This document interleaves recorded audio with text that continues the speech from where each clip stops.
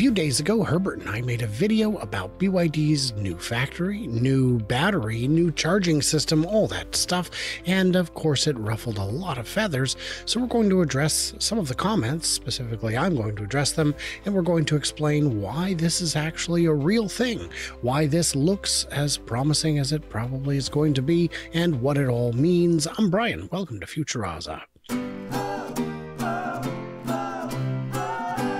So this was the video, uh, yeah, where we discussed it. And let's just uh, get into what it all means. This is, of course, it's a value proposition, just as much as the Tesla supercharger. One could argue that if you have a home charger, you don't need the supercharger network either. This is a very good point. You see, what good is charging a car in five minutes if you don't need to? If you have home charging, you never go on road trips, what difference does it make? Well, what if it takes 10 minutes? Isn't that almost as good? Yes, better is better. We'll take what we can get. But for most drivers, most of the time, the speed of the charge doesn't really matter. If Tesla was announcing a five minute charger, the title would be Game Over. But if BYD is doing it, it is not such an advantage. There's a lot of effort here to keep saying that Tesla does not need to fear anything. China is coming fast in all directions. I love Tesla, but I am not blind. Be aware. The worshippers of Elon may miss something on their analysis. This is true. This is all correct. Um, I don't know what the title would be. I don't actually write the titles or thumbnails. I suggest them. The editor does what we have to do. People will sometimes complain, oh, that was clickbait. How dare you, sir? Hey, when we did the supercut of the all hands meeting the other day, I required it to have a title of something like uh, Elon All Hands on Deck Meeting 30 Minute Supercut. And we published it that way, and nobody watched it. I mean, nobody. So I said, all right, you win, put in whatever title you think works. And he did. And then people watched it. So it's human nature. Uh, but to the point, this is all true. But let's get on to the actual point you were making, which is that uh, these are.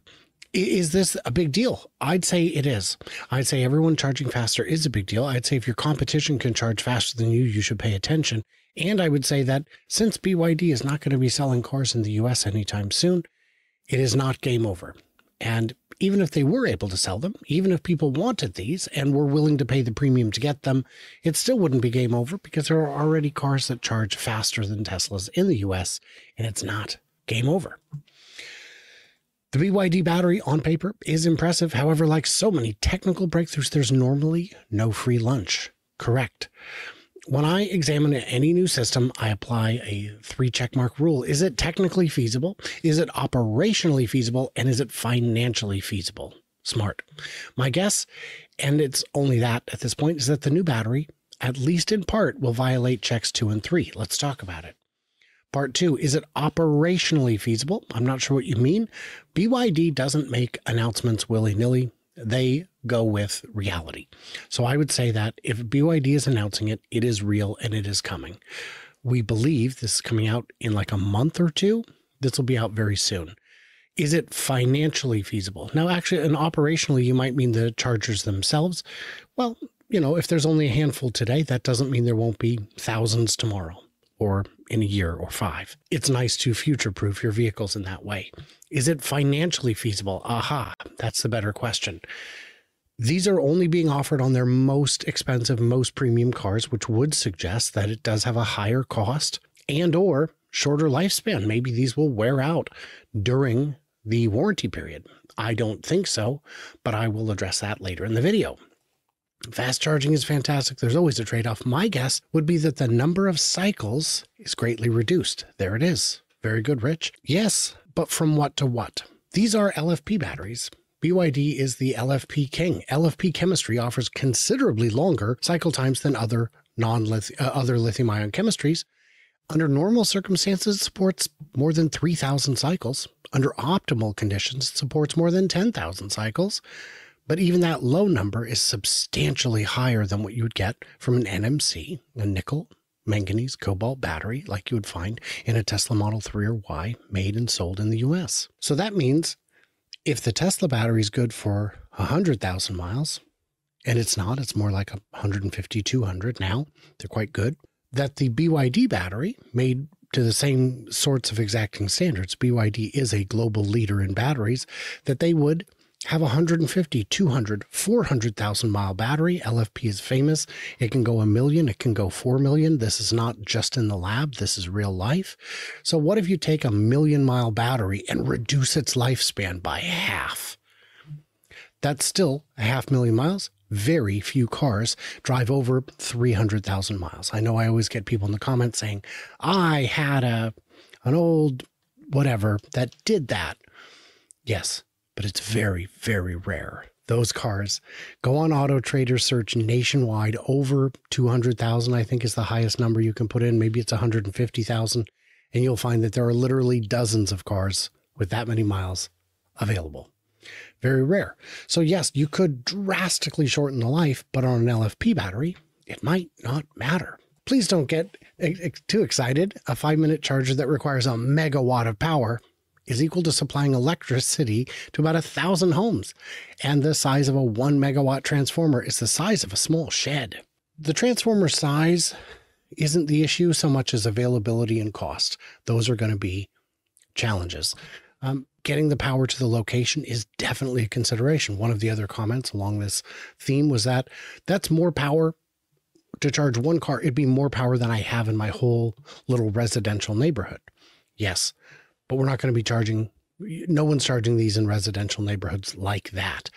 This would be out at the highway. This would be out somewhere where there is power because you don't typically build gas stations in, in residential neighborhoods. Um, some exceptions apply, of course, but this would be for that. You can still charge it normally at home. And in terms of the people thinking we don't have enough power to charge at home, we do. There's a reason they don't tell you on Thanksgiving be careful. Do not cook your turkey at the same time as your neighbor, or we will run out of power. Everyone's running their oven for hours. Full blast, doesn't matter. Okay, maybe not full blast, but pretty high. Cuber said, You may not need to have a megawatt charger to reap the benefit from a high C battery, C being the charge rate. Imagine if it just let you have a flat 250 kilowatt curve through 80 or 90% charge. It'd be huge. And also, if the battery could sustain the higher charge for longer, a larger pack might be worthwhile to have. So, what he's talking about here is um, if you check the speed when you first plug in, you're getting real, real high numbers here. The you're seeing, you know, a lot of cars over 100 kilowatts that they're able to take. But it starts stepping down pretty quickly. And it does that because as the battery fills, you want to charge it more slowly. Well, if this battery can accept a very high rate of charge, that means you could start at 250 and leave it at 250, who knows, all the way up to 80%. That would get you all from from 10 to 80, I mean, in really a matter of minutes. So it would be much, much faster than what we're doing now, which is starting off real nice and hot and then faltering thereafter.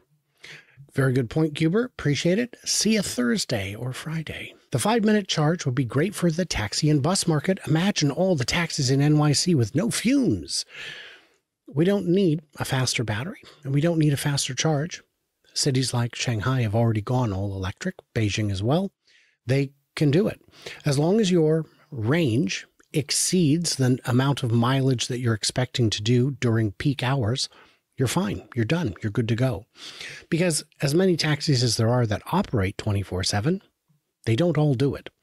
In the middle of the night, not very many taxis, not very many cars, not very many people.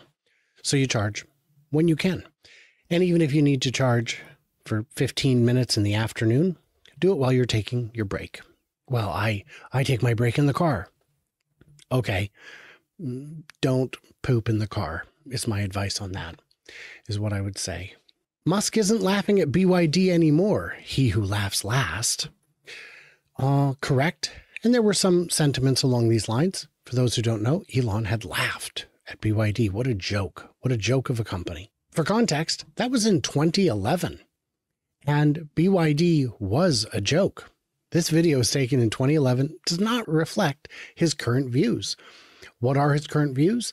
Uh, he says that was many years ago. Their cars are highly competitive these days.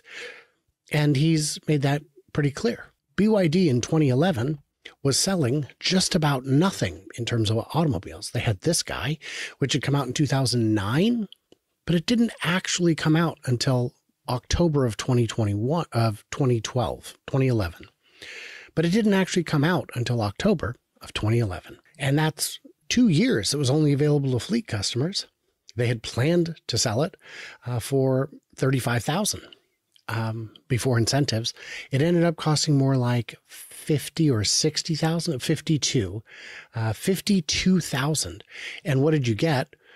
Uh, zero to 60 in eight seconds, 62 miles of range, a top speed of 100 miles an hour, and very slow charging.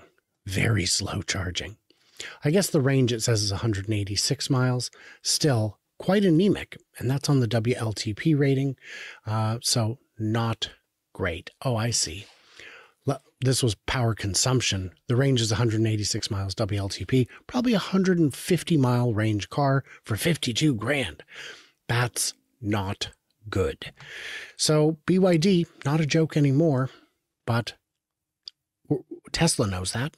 Do others know it? Tesla would also be in debt if it didn't have 38 billion in government subsidies. Uh, Robert, put your winky away. This is not what we're doing. Uh, let's look at that. I'm not even going to click on these clickbait articles. Elon Musk's business empire is built on 38 billion in government contracts. So wait, wait, wait. Musk and his businesses. Oh, so we're including SpaceX. Gotcha. Has have received at least 38 billion in government contracts. So you go out to bid, and the lowest bidder is SpaceX. That's not free money. That's being paid to do a job.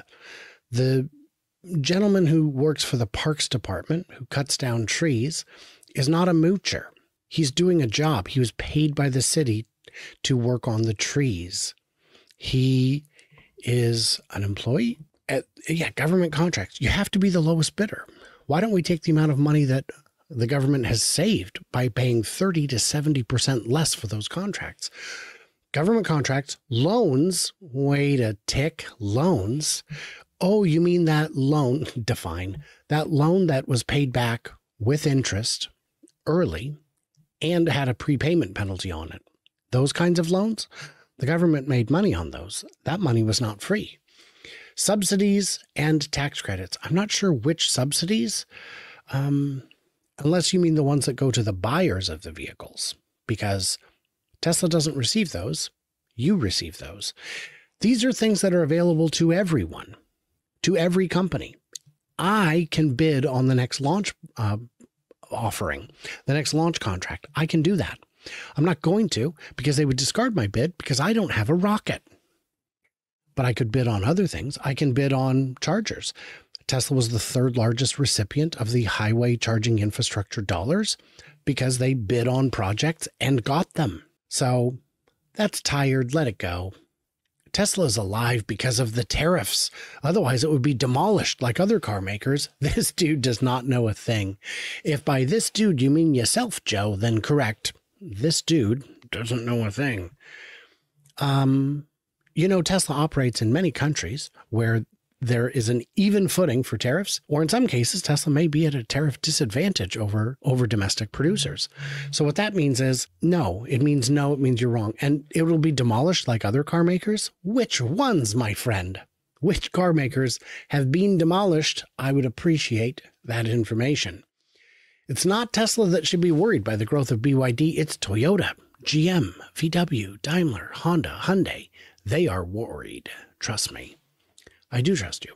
If they're not worried about BYD and Xiaomi and Li and to a lesser extent NIO, who uh, at this point might as well power their cars on burning cash, but instead of electricity. But hey, you do you. It, they know. They know that this is coming. In the US, automakers have this complacency because they believe that the current administration is going to make it smooth sailing forever. Well, it's not forever. Presidents change from time to time. And uh, you never know when the next guy is going to say, hey, the rest of the world is on board. We should be too. Great point.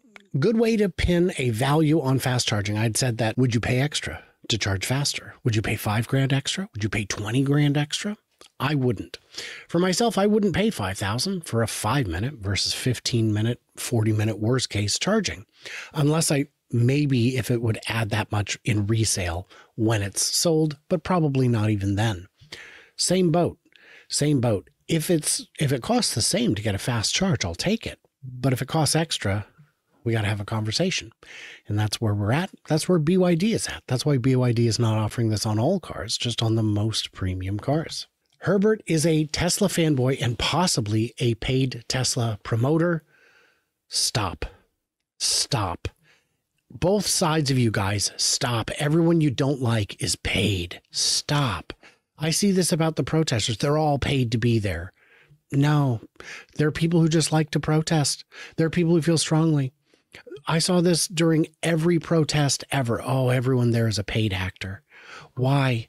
Uh, and then, of course, the flip side is they all assume that because they believe that's what we're saying about them, that we must be the paid promoters. Herbert is not a paid promoter. I am not a paid promoter. I don't even get into events.